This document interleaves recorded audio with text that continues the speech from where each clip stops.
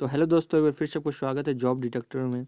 आज हम लोग फिर से हम लोग बात करने वाले हैं रेलवे अप्रेंटिस के बारे में। जी हाँ साथियों, रेलवे अप्रेंटिस में परमानेंट को लेकर जो भी मुद्दे चल रहे हैं उसको लेकर आप लोगों को अपडेट देना है। कहाँ पे क्या कुछ हो रहा है शिव गोपाल मिश्रा जी क्या कर रहे हैं और अभी तक किन किन मंत्रियों से मिला गया क्योंकि बहुत दिन से आप लोग को भी वीडियो नहीं मिल रहा होगा, मुझे पता है। तो चलिए बताते हैं। सबसे पहले तो आपको पता होगा कि जो भी है शिव गोपाल मिश्रा जी पंजाब गए हुए थे अमृतसर, जहाँ पे उन्होंने काफ़ी ज़्यादा ही मात्रा में मीटिंग की और बहुत सारे स्टूडेंट आए थे उस मीटिंग में।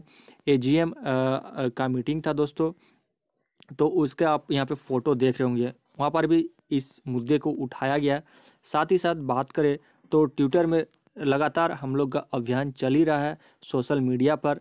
आप लोग से निवेदन है कि ज़्यादा से ज़्यादा लोग वहाँ पे जुड़िए और हमारे कैंपेन को सपोर्ट कीजिए ताकि दोस्तों आ, हमारे बात आगे पहुँच पाए।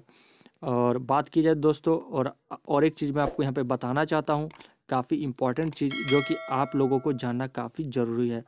देखिए बात की जाए तो साथ ही साथ हमारे जितने भी साथी हैं तो उनमें से कुछ साथी एन डब्ल्यू आर के रेलवे अप्रेंटिस के जो भी भाई बंधु हैं जैसे नरेंद्र राखेचा ने केंद्रीय जल शक्ति मंत्री गजेंद्र सिंह शेखावत जी से मुलाकात की और उनसे मिलकर रेलवे एक्ट अप्रेंटिस के मुद्दों को उनसे, उनको बताया और क्या कुछ हो रहा है रेल अप्रेंटिस के साथियों लोग के साथ, उनसे बहुत ही विस्तार से बातचीत की और उनके लेटर पेड से रेल मंत्री अश्वनी वैष्णव जी को एक लेटर लिखवाया।